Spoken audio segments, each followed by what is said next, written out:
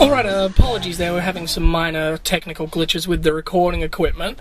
And um, we're back here, although we've had a slight incident, as we're back here with um, only Alison Bice. Hi, Paul.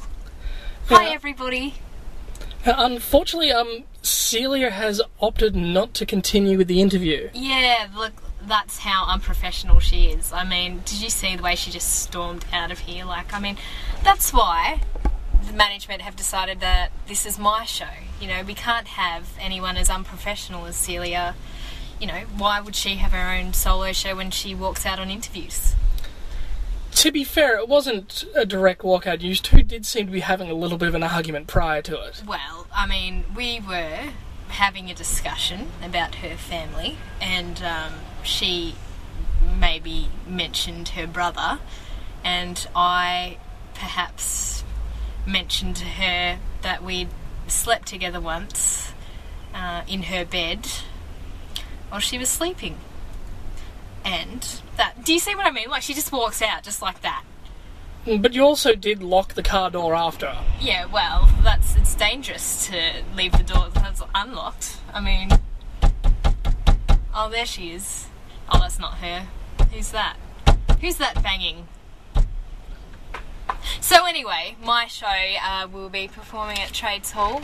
Celia Pacquola in Hating Alison Bice, 7:30 p.m. All throughout the comedy festival. Yes. And um, is there any particular website you we should direct people to? You can go to my MySpace site, which is www.myspace.com forward slash Alison Bice with one L, that is. Um, I wouldn't, like, Celia has a MySpace too, but I wouldn't worry too much about going on there. Actually, you could go to Celia's MySpace just to look at all the comments people have left on, like, hey Celia, you're so ugly, you know?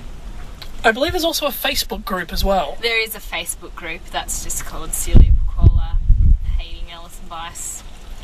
Once again. And you um, photos.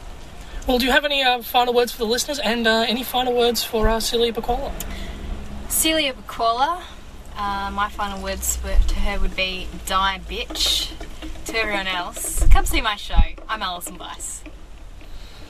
Mm, Exactly. On um, on that note, um, we're going to say farewell to um, Alison and outside to Celia, who is still trying to get into the car as we speak. But um, yes, uh, go check out Celia Pacquola hates Alison Bice all throughout the comedy festival, and stay tuned to um, Double X, we'll be having more comedy festival coverage in the coming weeks. Bye, kids!